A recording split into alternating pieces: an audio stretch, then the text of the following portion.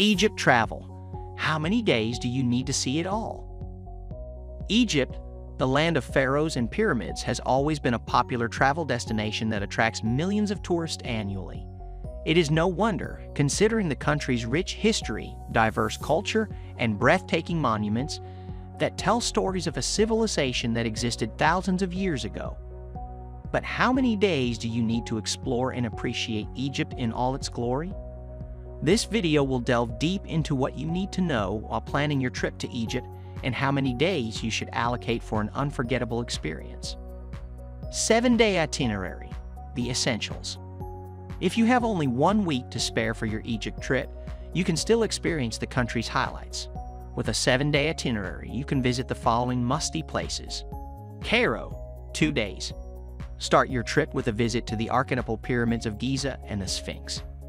Dedicate a day for exploring the Egyptian Museum, which houses a comprehensive collection of ancient Egyptian antiquities. Luxor, 2 days.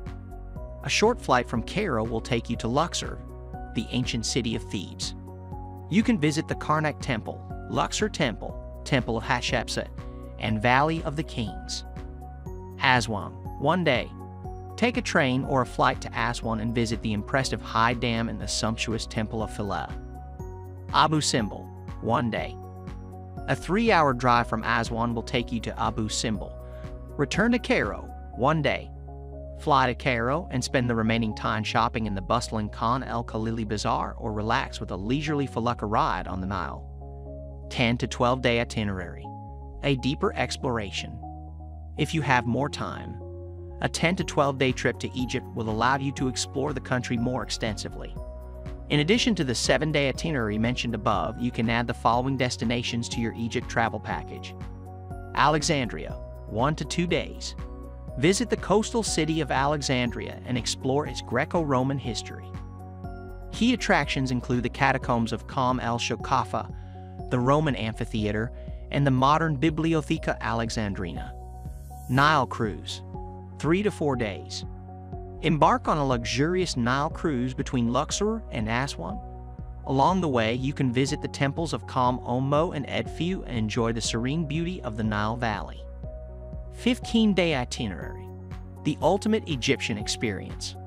For the ultimate Egyptian experience, a 15-day trip is recommended. This will give you ample time to cover all the major attractions and even venture off the beaten path. In addition to the 10 to 12 day itinerary, you can include the Red Sea, 2 to 3 days.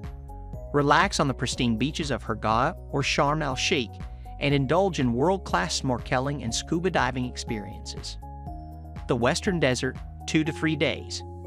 Explore the surreal landscapes of the Western Desert, including the White Desert, Black Desert, and Crystal Mountain.